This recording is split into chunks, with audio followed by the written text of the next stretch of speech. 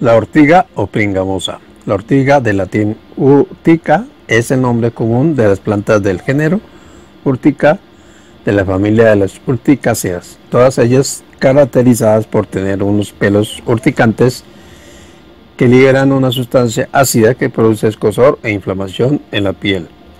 Es una de las malas hierbas más habituales, bien conocida por sus cualidades urticantes. Antiguamente se conocía también como la hierba de los ciegos, pues hasta estos la reconocen con su solo rosarla. Es una de las plantas que más aplicaciones medicinales posee. Existen dos tipos, la urtica dioica, conocida como ortiga mayor y ortiga verde.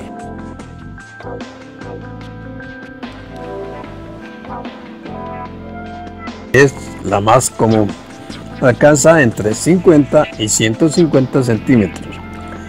La característica más conocida de esta planta es presencia de pelos urticantes cuyo líquido cáustico acetilcolina produce una irritación con picor intenso en la piel cuando se le toca o rosa.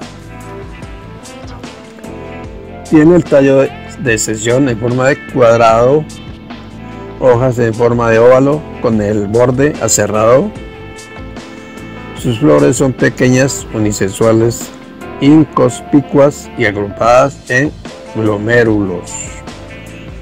La ortiga menor, Urtica urens, suele crecer al lado de la ortiga mayor. Tiene unos 60 centímetros y produce mayor irritación que la anterior, pero posee menos virtudes terapéuticas. La ortiga es una planta arbustiva, perenne, dioica, del aspecto tosco y que puede alcanzar hasta 1.5 metros de altura.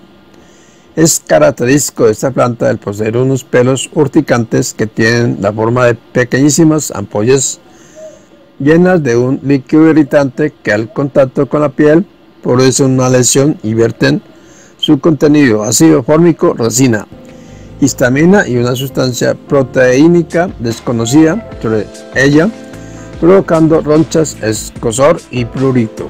Este picor se debe a la acción del ácido fórmico, compuesto del que contiene una gran cantidad.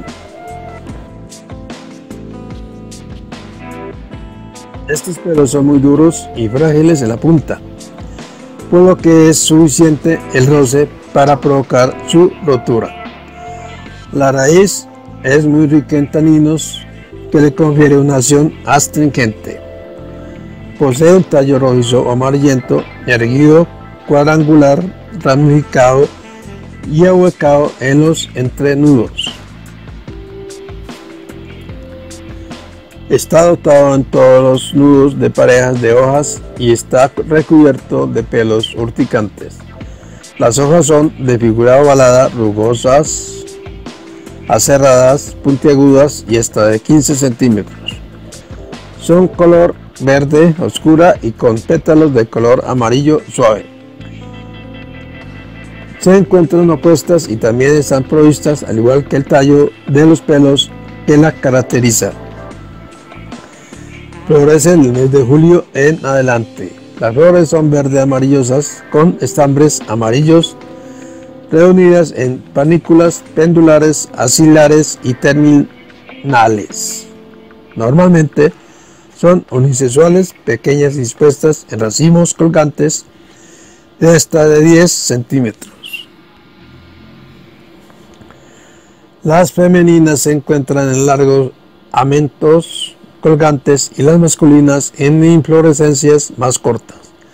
Sus frutos son aquenios, cápsulas y secos. Composición. Composición química contiene la flavonoides de acción antioxidante y antiinflamatoria, sales minerales, ácidos orgánicos, provitamina A y C, mucílago, ácido fórmico, clorofila, taninos, resina, silicio, acetilcolina, potasio, glucoquininas y una gran cantidad de clorofila de su color verde oscuro e intenso, histamina y serotonina. La planta también posee una sustancia llamada secretina que es uno de los mejores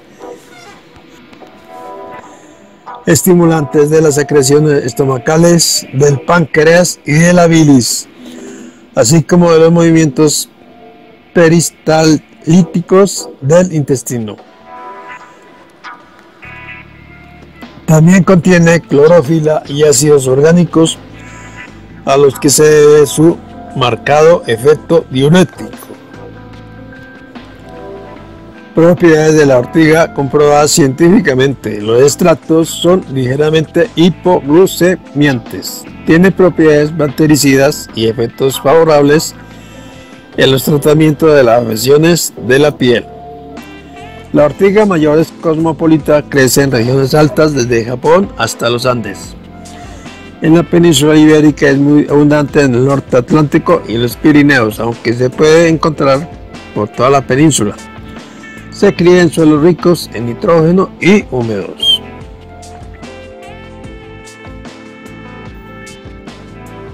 Se recogerá la planta entera dependiendo del uso que se le vaya a destinar. Puede utilizarse seca o recién recogida.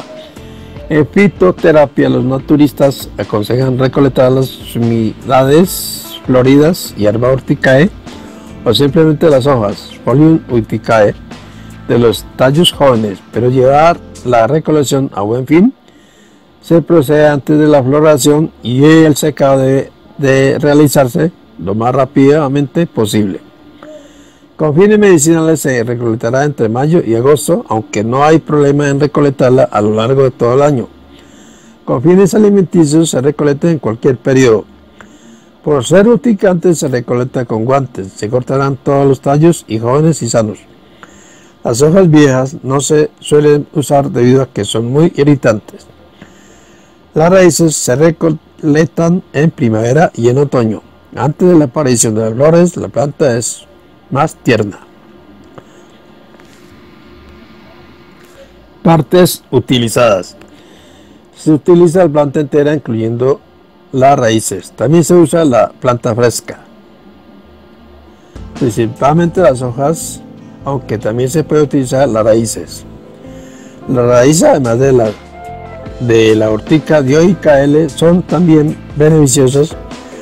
Las de la ortiga menor, Urtica urens L o especies híbridas en ambas obtenidas durante el periodo de floración.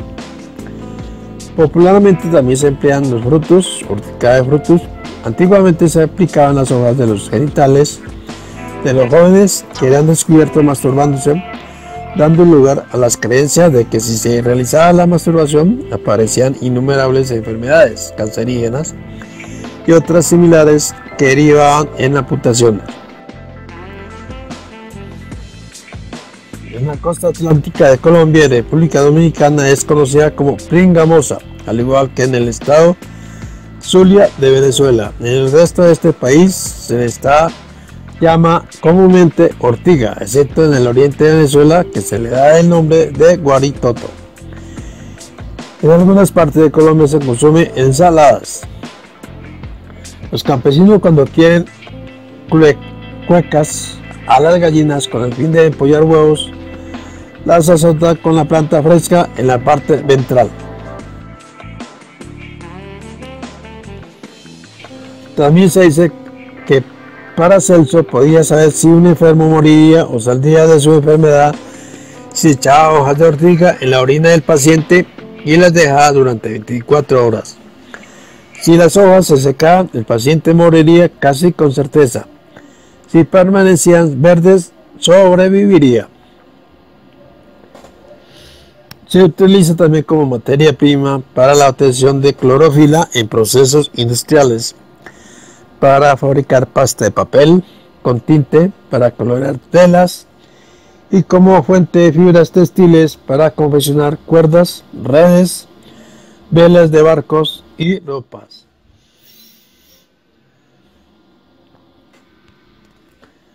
Este último uso se remonta a la Primera Guerra Mundial debido a la escasez de las fibras más habituales.